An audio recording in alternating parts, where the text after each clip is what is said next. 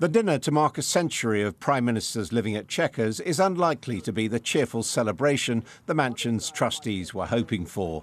Four of the living premiers, Cameron, Brown, Blair, and Major, have turned down their invitations.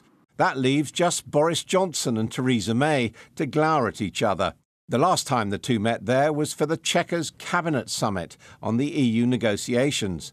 Johnson, who was Foreign Secretary, resigned shortly afterwards, along with David Davis, ultimately helping to bring about Mrs May's downfall from office. Whatever the tensions between them, all Prime Ministers have come to love the country house that goes with the job. What they call this House of Peace was first given to the nation after World War I by Lord Lees, one of Lloyd George's ministers, and his rich American wife, explicitly for the rest and recreation of her prime ministers. For years, Chequers was used for just that relaxation with its tennis court, rolling grounds, and swimming pool, and for private entertainment of cronies and political allies. The keen artist Winston Churchill is said to have taken his brushes to improve the depiction of a mouse on an oil painting by Rubens hanging on the wood panelled walls. Margaret Thatcher usually spent Christmas there and liked to use visits to what she called Chequers Church for impromptu sound bites. Early in the job, a bruised and over-made up Tony Blair had to get special permission from the trustees to use it for work. A TV interview after Labour accepted a million pound donation from Formula One.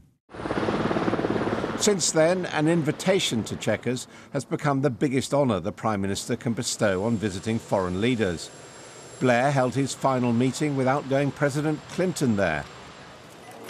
Angela Merkel liked the Buckinghamshire countryside so much, she asked for a repeat visit. President Xi was so taken by the beer in the nearby Plough pub that he joked about buying it.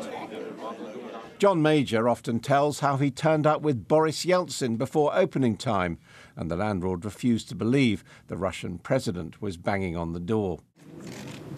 Theresa May did her best to preserve decorum when she entertained the unpredictable Donald Trump in the House and Garden.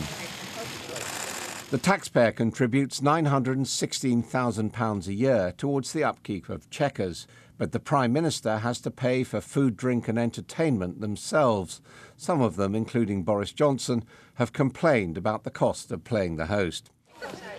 Still, most Prime Ministers and their wives consider Chequers to be one of the best perks of the job.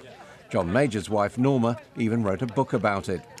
Her husband isn't going, but Dame Norma will be at the centenary dinner tonight, perhaps trying to keep the peace between Boris Johnson and Mrs May.